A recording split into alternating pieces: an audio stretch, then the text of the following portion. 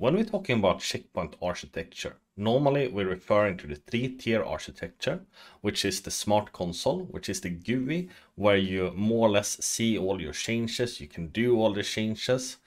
And then we have the security management server that actually holds the policy, the monitoring, the logs, the box that is actually controlling the firewalls that you interact with with the smart console.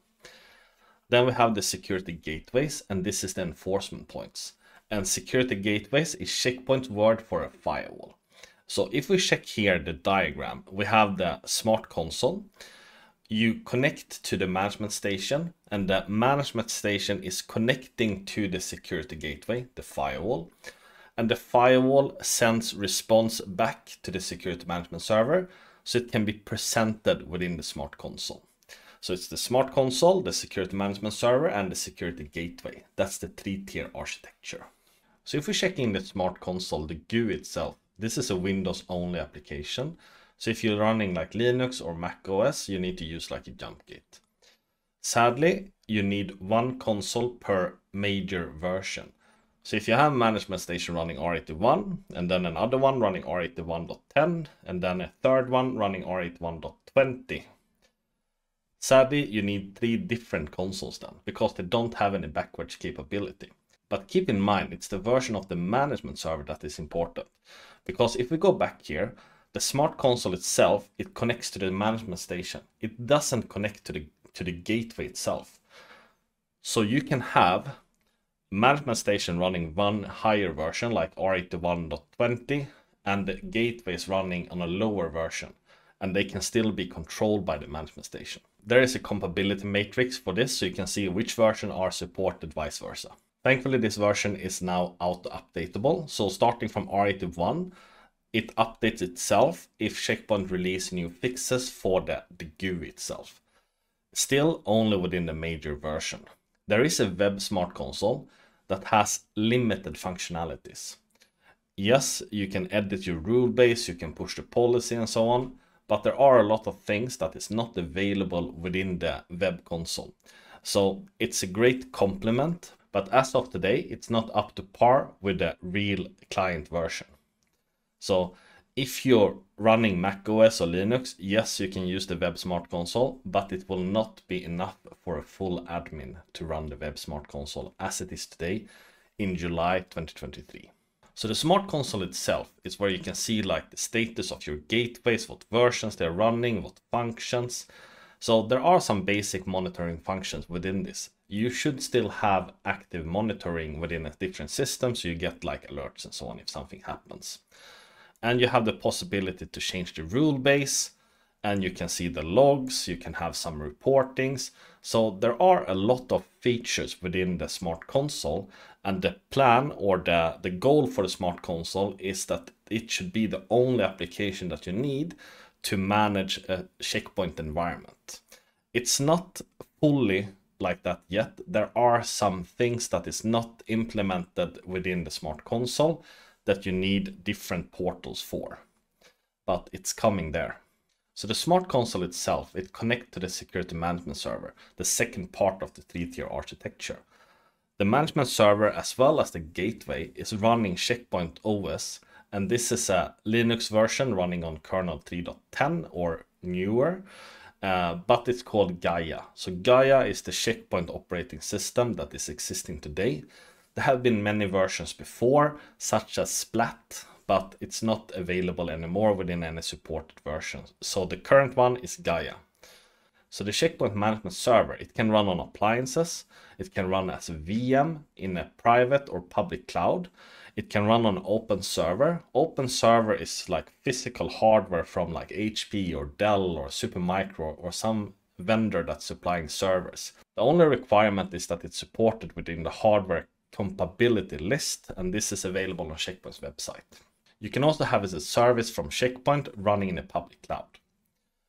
So the security management server, it manages all the security gateways, meaning the firewalls. It manages all the objects that you build your rule base, and the rule base is called the policy.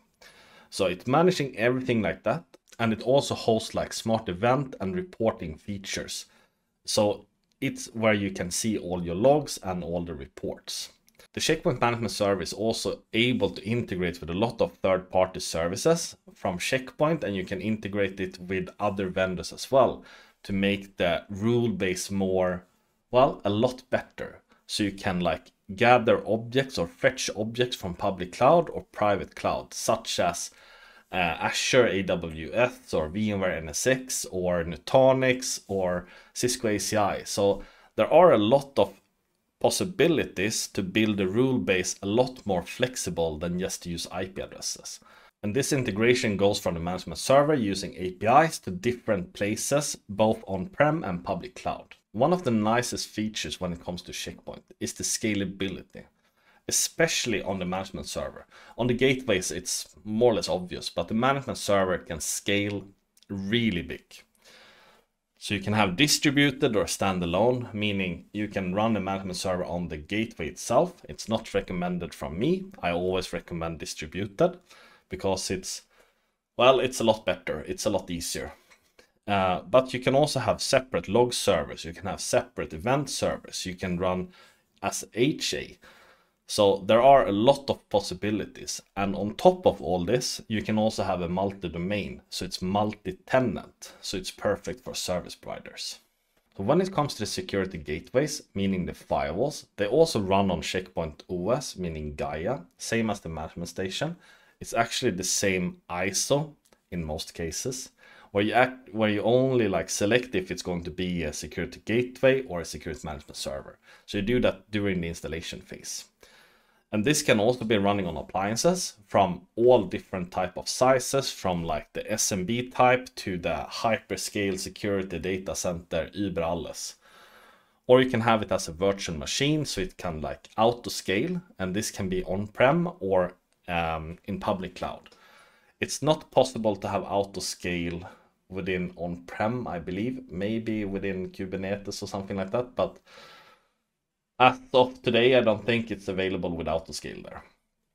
Then you can run it as open server, same as the match, same as the management station, meaning on physical hardware that you buy from like HP, Dell, or whatever server vendor that you use. Same here, it needs to be compliant with the hardware compatibility list available on Checkpoint's website, or you can run it in the public cloud. In more or less all the big public cloud vendors AWS, Google Cloud, um, Azure, Oracle Cloud, Alibaba Cloud, etc. etc. There is a bunch of public clouds that it's available to run checkpoint services on. And the security gateway, it's the enforcement point. It's the it's the firewall. It inspects the traffic, it logs the traffic, it routes the traffic if it needs to, and it takes decisions if it's going to to pass it along or drop the traffic. So the security gateway is the firewall itself, but the firewall itself is useless without the smart console and the management station.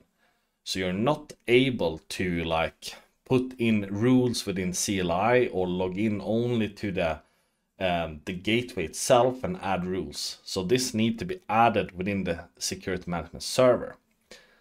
The security management server can mm-hmm. run on the firewall appliance itself. So it becomes a bit complicated, but it's different GUIs and so on. And as I mentioned before, always run it in distributed, so you have a separate box for the management station and a separate box for the firewall. And when it comes to firewall itself, you should always run it in clusters. There is something called software blades. This is the function such as IPS, URL filtering, application control, anti-bot, etc, etc. This is the features that you can enable on the firewall to do more advanced things than only like permit and deny based on IP and port. And this software blades, they are of course licensed. Some of them are uh, subscription based and some of them are perpetual, meaning that they are all always included within the box and you don't need to pay a yearly or a monthly service for it other than support. But the more advanced features that is requiring constant updates from like services online such as IPS with signatures, they are subscription based and you pay a yearly fee for to use it. So all of this is pretty cool. So if you log into the management station, you can do integration with like identity awareness. You can pick up different devices. You can build your security policy based on applications. So it doesn't need to be IP addresses. IP addresses, yes, it's the base functionalities, but to have an adapted rule base, you need to add more stuff.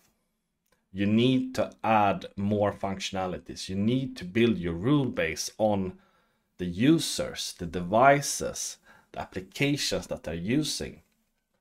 And the benefit with Checkpoint is that from the same management station, you can have one policy that is applied to 100 firewalls with one click.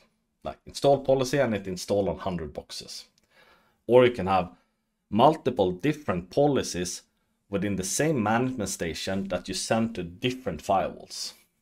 And it doesn't matter if it's on-prem or in public cloud, you can do it from the same management station. And this is something that is really cool and this is something that we will check on more within this series. So thank you for watching and I hope to see you in the next one. Take care.